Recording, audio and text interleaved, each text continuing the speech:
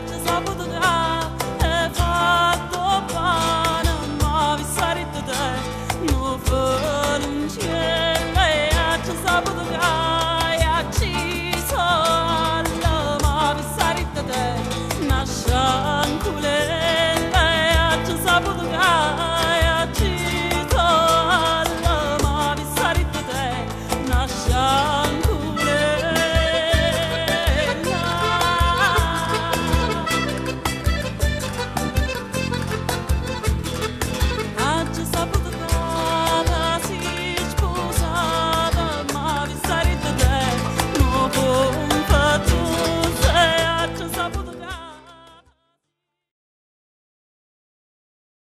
La parrocchia Santa Maria Assunta di Trentinara organizza la quinta edizione dei mercatini di beneficenza, con un ricco programma solidale che prende il via il 13 dicembre, con la giornata dedicata ai bambini e ai ragazzi. Nella magica sera di Santa Lucia, con la processione della luce, tutti i bambini attenderanno l'arrivo di Lucia, in sella ad un asinello, per ricevere doni, caramelle e dolcetti. Da mesi ci si prepara a questa manifestazione, col proposito di dare solidarietà, ed un aiuto concreto a chi ha bisogno. L'obiettivo di questo evento, afferma la coordinatrice Antonietta Medugno, è quello di far conoscere gli istituti di ricerca di diversa tipologia medica. Nei vari incontri previsti nel programma della solidarietà che riscalda il cuore, ci si soffermerà sulle adozioni di bambini italiani e stranieri, si parlerà di clown terapia per i bambini ammalati, affrontando poi le tematiche riguardanti i disagi familiari e le violenze sulle donne. Ecco alcuni momenti del programma. Il 13 dicembre saranno allestiti i mercatini di beneficenza. Il 14 incontro con la Croce Rossa Italiana, Comitato di Agropoli e del Cilento, che effettuerà una dimostrazione di manovre salvavita con l'uso del defibrillatore. Il 15 giornata della solidarietà e dell'amicizia, Insieme per Chicco, giornata per la vita. Lo stesso giorno si terrà un incontro spirituale sul tema Amore e carità, con Don Patrick, frate francescano. Il 20 dicembre, nella chiesa del Santissimo Rosario, l'atteso concerto di Natale coi ragazzi dell'Istituto Comprensivo Carducci di Capaccio, plesso di Trentinara. Dal 27 al 30 dicembre si svolgerà inoltre la mostra concorso del presepe artigianale e il 5 gennaio tombolata di beneficenza.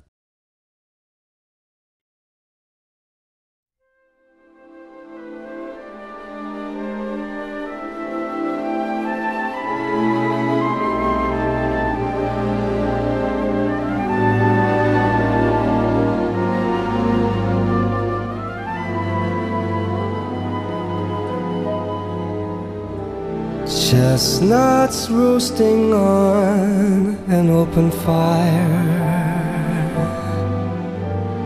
Jack Frost nipping at your nose. Yuletide carols being sung by a choir and folks dressed up like Eskimos everybody knows a turkey and Con noi c'è Genesio Rufo, un grande artista di Genzano di Altavilla Silentina e noi eh, siamo in questo luogo bellissimo dove ci sono tante opere d'arte. Che cosa vediamo intanto? Allora, in questo momento state vedendo del, delle opere fatte in, eh, in materia povera, diciamo, perché utilizzo per fare queste cose qua cartone, corteccia, rami di quercia, muschio e colla. Questo è diciamo il, il materiale che utilizzo. Poi bisogna saperlo mettere e vedere come uno vuole creare il presepe. L'importante di dare al presepe è questa, è la grotta. Si comincia da lì. Da, dalla grotta. Se non c'è la grotta e non, se, se, non ci mette il pastore, ehm, che si chiama Beniso, eh, che sogna il presepe, il presepe senza la grotta e senza il beniso possiamo mettere gli angeli, tutto quello che vogliamo, il presepe non esiste, non c'è il presepe. L'arte presepiale naturalmente è, è, difficile da realizzare, però quando ci sono poi eh, le doti eh, tutto viene più, più semplice. Ma tutto quanto è iniziato da bambino, quando tu stavi in un bar e, a un certo punto che cosa è successo? Perché lì è cominciata questa avventura. Che tutti, diciamo, nel periodo di Natale c'era un signore che eh, stava con mio zio e eh, faceva in questo periodo delle, delle, casette, dei presepi sempre fatti in arte povera con cartone e a quel punto non c'erano nemmeno i pastori, eh, diciamo c'erano i pastori fatti di, di, creta e li creava anche lui. Allora io guardavo eh, e vedevo come li faceva. Purtroppo eh, nella vita uno deve, deve guardare, imparare e poi saper creare. Forse nulla come un presepe fa rivivere lo spirito natalizio, ma eh, ci si chiede quanto tempo ci si impiega poi per realizzarlo? Allora, per realizzare un presepe, secondo me, eh, bisogna prima pensarlo. Quando lo si pensa lo si può fare in due ore, due ore, tre ore. E il problema è il materiale. Però farlo come questo qua, due ore, due ore e mezza è, è stampato. Bisogna sempre avere i materiali però. Bisogna avere il finocchietto che sarebbe eh, questa parte qua che ho fatto il tetto, la corteccia di, di pino che ho fatto il tetto qua sopra, qua sopra, qua sopra, qua sopra e poi un po' di corteccia di olmo. Tiny tots with their eyes all aglow will find it hard to sleep tonight. They know that sun is on his way. He's loaded lots of toys and goodies on his sleigh. And every mother's child is going to spy. Per concludere, il suo nome è sicuramente particolare e richiama il mondo degli artisti. San Genesio, San Genesio viene festeggiato il 27 agosto perché è il protettore degli, degli attori e degli attori. Quindi eh, non mi reputo, io guardo la natura e se dalla natura posso creare qualcosa, la creo e l'ho creata mi sembra.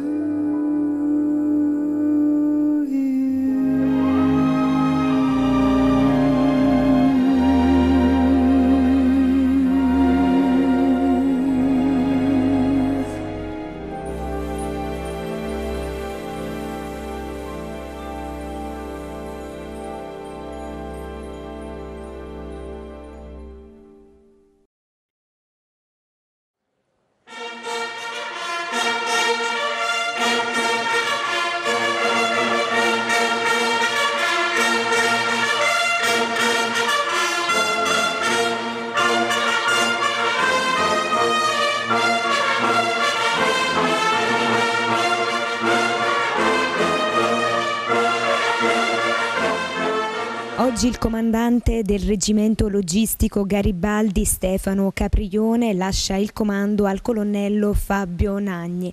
Grandi emozioni da parte sua durante questa cerimonia, segno di un lavoro davvero soddisfacente. Assolutamente, ricchi di soddisfazioni, non senza problemi, ma qualsiasi problema è stato eh, brillantemente superato grazie alla professionalità degli uomini e delle donne che ha avuto l'onore e il privilegio eh, di comandare. Quattro anni intensi eh, durante i quali abbiamo svolto il nostro compito di supporto non solo alla brigata eh, Bersaglieri Garibaldi alla quale apparteniamo, ma anche a, alle altre unità eh, che si sono eh, avvicendate e sono, alle quali abbiamo dato il nostro sostegno logistico.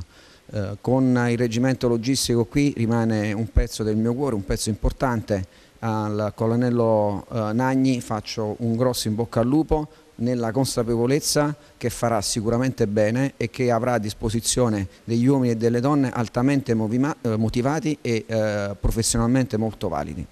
36 anni di onorata carriera, in questi quattro anni ha fatto tanto per questo reggimento, ricordiamo le giornate FAI che grazie alla sua collaborazione hanno avuto ben 4.500 visitatori presso la Real Caccia di Persano.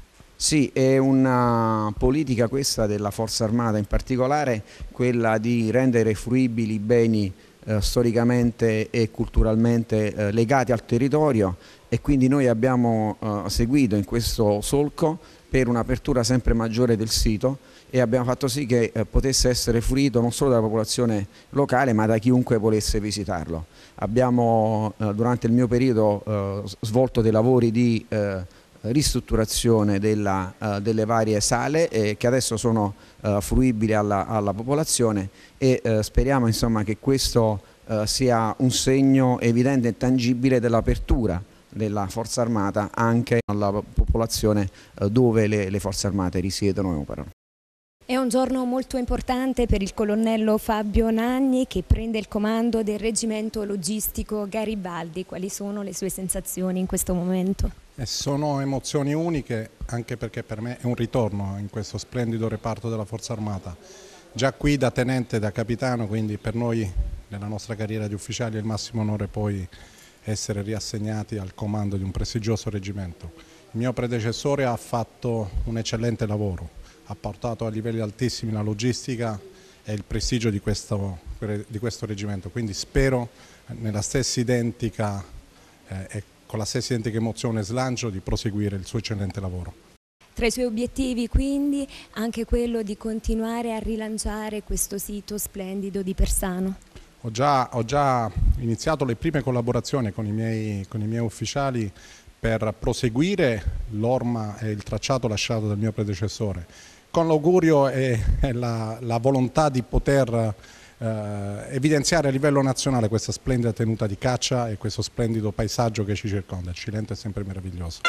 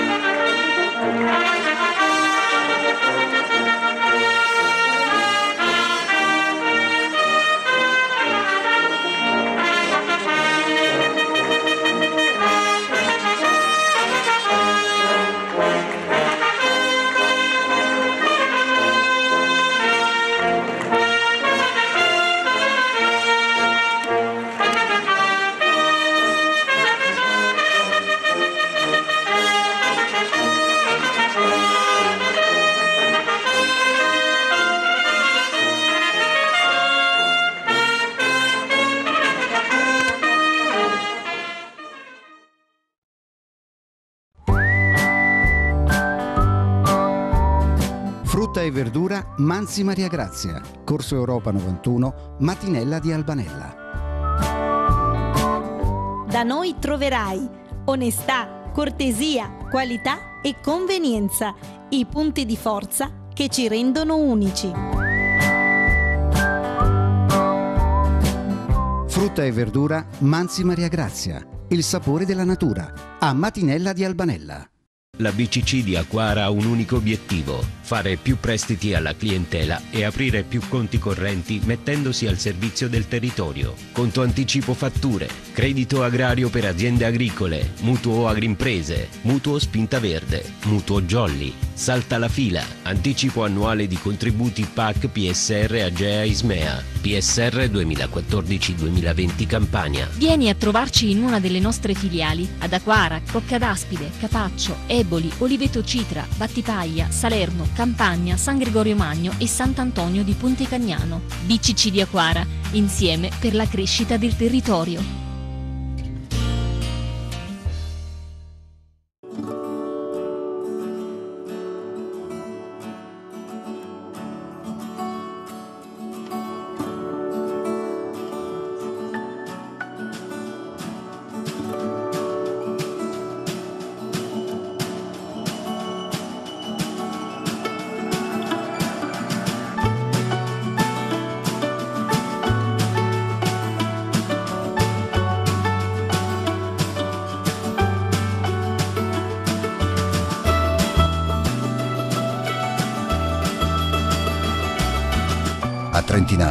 Sulle colline di Pestum.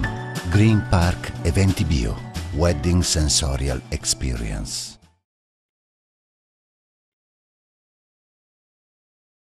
Ritorna il Forum Giovani a Rocca d'Aspide presieduto dal ventenne Gabriele Antico che è proprio in nostra compagnia come nasce l'idea di ricostituire il forum.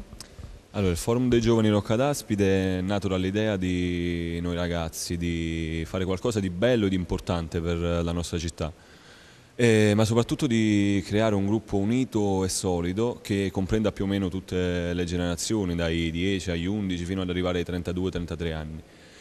Eh, un gruppo solido e unito che possa creare sinergia e soprattutto unità L'intento è quello di coinvolgere sempre più ragazzi e posso soltanto dire che in una cittadina come Rocca d'Aspide, una cittadina così tranquilla, sta soltanto a noi fare bene e fare appunto il nostro lavoro. E nonostante siete davvero giovani avete degli obiettivi veramente chiari. Allora, per quanto riguarda questo abbiamo stilato un programma dove speriamo di poter portare a termine i nostri obiettivi che ci siamo prefissati, però per me in questo momento l'obiettivo più importante è quello di creare un gruppo di ragazzi che ragioni come una sola persona fondamentalmente. Da pochissimi giorni a Rocca d'Aspide si è ricostituito il forum dei giovani e ne parliamo con il vicepresidente Alessio Mazzaro, nonostante siete nati da poco, siete già tantissimi. Siamo già tantissimi e soprattutto siamo, siamo molto attivi perché il forum si è costituito il 4 dicembre 2019 e e siamo molto attivi. La, la, cosa interessante, la cosa bella è che ci sono tanti ragazzi che hanno voglia di lavorare, di eh, creare iniziative e, e finalizzarle. Eh, quello è importante perché poi alla fine questo organo nasce da un'idea di 3-4 persone e la cosa importante è quando viene diramato, quando si crea gruppo e quando magari eh, anche ragazzini molto più piccoli rispetto a noi hanno tanta tanta voglia di collaborare. E poi restate aperti ad accogliere sempre nuove iscrizioni da parte dei giovani? Assolutamente sì, eh, perché il nostro intento è proprio quello di creare una vera e propria eh, sinergia generazionale che abbracci un attimino tutte le generazioni, eh, dai ragazzini di 10 anni, 8, 6, eh, fino magari a ragazzi più grandi. Quindi il nostro intento è proprio quello, l'unità, il sinergismo e la collaborazione. Iniziative ed idee che si concretizzano da subito, già a partire dal 17 dicembre, quando a Rocca d'Aspide si terrà Hanno rapito Babbo Natale. Esattamente, il 17 dicembre collaboreremo con varie associazioni e, mm, la cosa fondamentale è la collaborazione con il mondo dell'istruzione. Il 17 eh, collaboreremo nonostante eh, non, siamo, non ci siamo costituiti nemmeno da un mese, ma siamo già eh, carichi, abbiamo tanta voglia di lavorare, insomma. E continuerete ad arricchire il calendario di eventi natalizi anche con un'iniziativa che possiamo già anticipare ai nostri spettatori che è la tombolata del 4 gennaio. Esattamente, il 4 gennaio 2020 eh, inizieremo questo anno con la tombolata che eh, si svolgerà eh, alla scuola media eh, e grazie anche all'aiuto di Dino De Vita, all'associazione Roccadaspide in Evoluzione, ehm, presenteremo subito questo, questa iniziativa. Eh, già abbiamo avuto tante adesioni, stiamo continuando a lavorare e tanti ragazzi ci stanno, ci stanno dando una, una, un aiuto importante. Eh, io sono felicissimo di questo, eh, anche perché poi eh, purtroppo quando si creano questi organismi c'è sempre la figura del presidente, del vicepresidente, del tesoriere. Io non, non sono d'accordo su questo, penso che tutti quanti eh, abbiamo la stessa importanza. Per me siamo tutti presidenti o siamo tutti soci. Sindaco Alfieri, olivicoltura, tecniche, promozione e potenziale. Quest'oggi qui ad Albanella si discute di questo.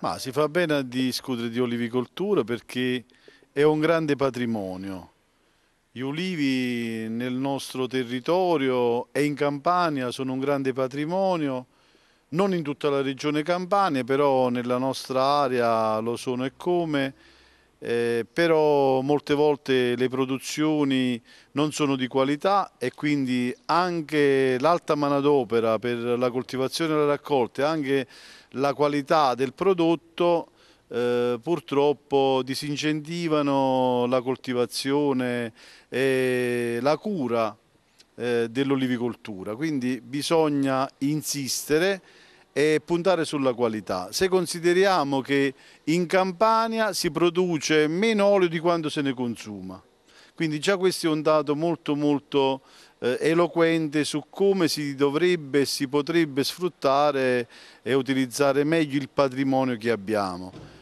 Eh, è chiaro che eh, non dobbiamo inventarci nulla perché ci sono produzioni in altre regioni d'Italia che riescono a spuntare prezzi eccezionali se guardiamo alla Toscana ed altre regioni e anche nel nostro territorio, nella nostra campagna, ci sono aziende che si sono imposte sul mercato nazionale ed internazionale e riescono a fare bene. Però purtroppo gran parte del patrimonio olivicolo a volte abbandonato perché c'è ancora gente che aspetta l'annata. Eh, L'olivo eh, deve essere coltivato, curato e lo si deve fare con professionalità, quindi bisogna affidarsi ai professionisti, bisogna raccogliere quando è tempo di raccogliere e molire le olive con impianti moderni e poi affidarsi per la commercializzazione eh, a chi ne capisce. Chi ha fatto questo riesce ad avere un prezzo capace di poter coltivare e mandare avanti un'azienda olivicola. Quindi spero che questo convegno di oggi eh, dia questi consigli e soprattutto anche la polverizzazione della proprietà è sempre il solito annoso atavico problema, mettersi insieme, nessuno rinuncia alla sua proprietà, però mettersi insieme significa fare meglio, risolvere i problemi, eh, affrontare con più forza anche i costi e quindi questi credo sono i consigli che io mi sento di dare eh, perché anche con i miei anni di esperienza quando sono stato consigliere all'agricoltura eh, ho potuto approfondire questi temi e soprattutto oggi ho la certezza che questi, eh, queste attenzioni hanno portato alcune aziende ad, ad avere successo sul mercato. Tutto funziona a pieno regime presso la società agricola Nuova Valcalore di Castel San Lorenzo. Ne parliamo con il presidente Michele Lavecchia, presidente da quest'anno ha riaperto quella che è la cantina storica di Castel San Lorenzo. Sì, è vero, è vero, è vero. Abbiamo rilevato un'azienda molto importante. Eh, questa nuova società è stata in grado di, prima di acquistarla, eh, e poi di rimetterla un po' su, eh, eh, almeno per quello che è il settore dell'olio. Questo è il secondo anno che noi, eh, seconda campagna del, del, che noi abbiamo messo in funzione l'oleificio sociale e quindi funziona, funziona. E in questo momento stiamo assistendo alla campagna olivicola, ma dal prossimo anno presso la società agricola Nuova Valcalore si svolgerà anche la campagna vitivinicola. Sicuramente, questo è un obiettivo che noi ci siamo dati. Eh, Quest'anno non è stato possibile iniziare perché le strutture che ci sono, le attrezzature, gli impianti presenti nel, nel, in questa bella struttura non sono, non sono adeguati, ecco, non sono proporzionati alla quantità del, del, del, delle uve che possono essere conferite oppure acquistate dalla società.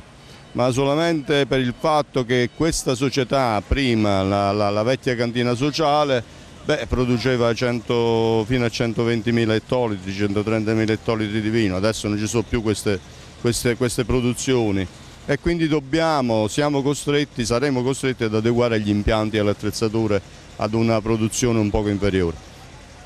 Però stiamo facendo un ragionamento eh, non di quantità, ma stiamo puntando sulla qualità dei nostri prodotti anche enologici, nel senso che abbiamo recuperato una, una, una vite antica di questo territorio che si chiama Aglianicone, eh, quest'anno lo abbiamo già incominciato a commercializzare perché ci siamo forniti dalle dalle nostre cantine sociali qui, quindi abbiamo prelevato il prodotto da loro, lo abbiamo selezionato, fatto imbottigliare per il nostro conto e poi abbiamo immesso sul mercato questo bel prodotto e l'abbiamo venduto tutto.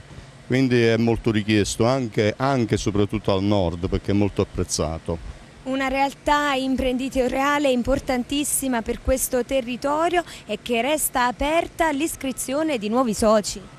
Sì, eh, eh, questo è importante e voglio approfitto per, per, lanciare questo messaggio a tutto, a tutto, il territorio, ma soprattutto agli attori del territorio che si interessano di agricoltura e di, e di commercializzazione di prodotti nostri locali.